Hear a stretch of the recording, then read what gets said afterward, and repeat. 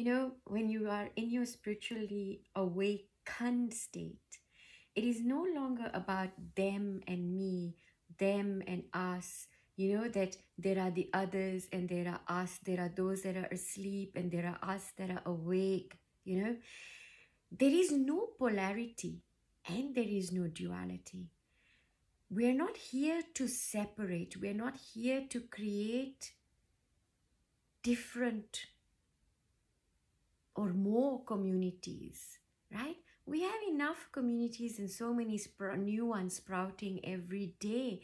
New belief, new thought system, and, and actually, there really is no new set of beliefs or new thoughts or new ideas. All we are really doing is there are discoveries that have all been discovered before. There were people that were spiritually awake or not awake before, and there are people who have been asleep and still asleep and will wake up or not wake up, right? That attitude of there is them and there is us. I'm the leader, you're my follower. Or you're the leader, I am the follower. That hierarchy goes in a spiritual awakening. There's no competition because you're connected to the infinite source of it all. When you're in that connection and you're content, right? There is no, all of these things that are so divisive or divisive, they don't exist, not in the awakened state.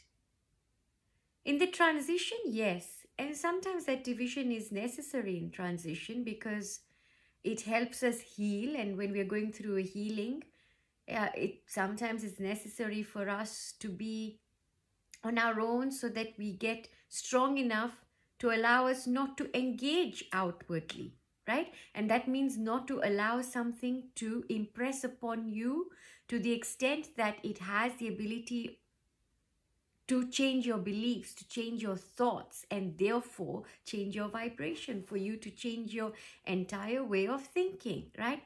Now, given that there is such a thing, if we can all get together and you're all going through a spiritual awakening or you want to go through a spiritual awakening, right?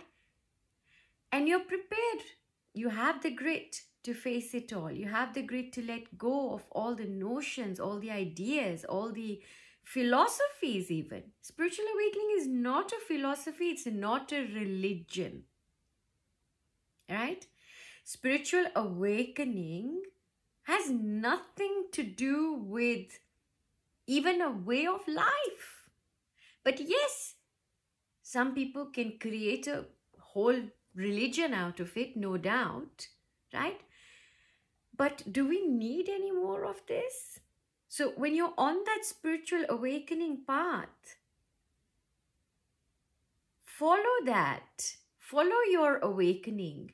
Make your awakening itself your teacher, right?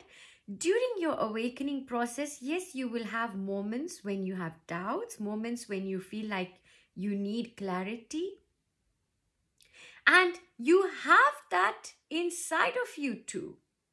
The way of getting clear, right? The way of getting clear is for you to sit on it, to sleep over it, right? To be with yourself. Now,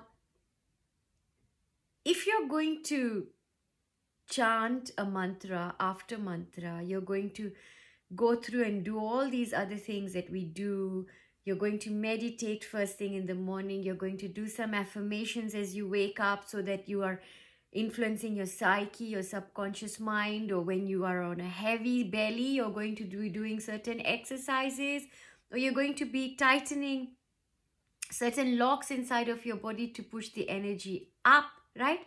Why are you doing all of this? So, do we know what we're doing? Do we know why we're doing this?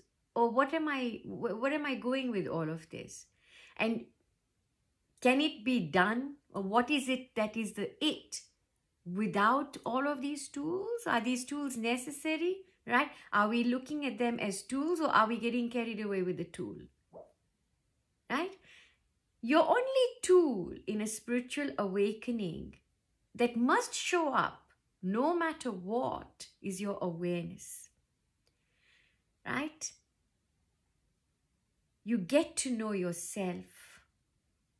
You get to know yourself. You can simply just lie down all day. You can sit on the sofa, whatever you want to do.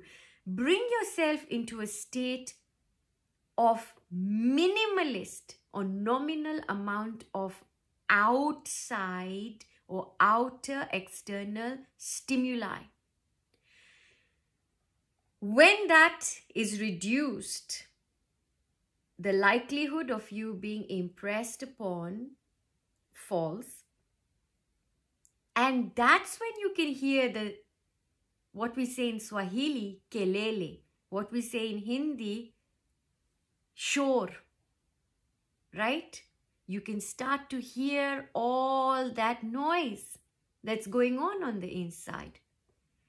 But if it is so difficult to just be on your own, sit alone, right? Then take a rain check on spiritual awakening. Now, when you can, go, run, now. Yeah? And come back when you are ready. Because chances are, if you are still struggling with that, then there's been no shift, right? There's been no consciousness shift.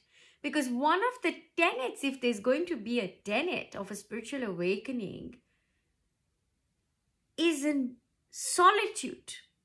It is essential. Or at least one where senses are introverted, right? Or one where you are not engaged. Now, if it is hard for you to carry on with life without being engaged and involved in it so that you can go deeper inside of you, right? Then you may be called to meditate. However, you can isolate yourself. Go in a cave, make your room a cave, right? simulate that kind of experience that a monk would have been. You live your life like a monk.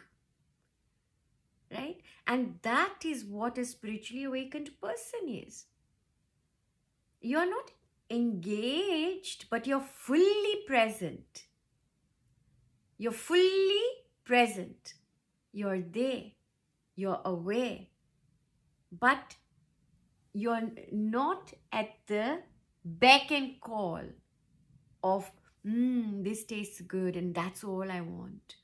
Yes, you will go through cravings. If you're going through a Kundalini awakening, for example, your body might need certain nutrition, right? So much more on this, folks. Please do leave a comment with any particular aspect of an awakening if you're going through one that you would like us to cover. Otherwise, all my love, as always, please stay tuned in. Take care.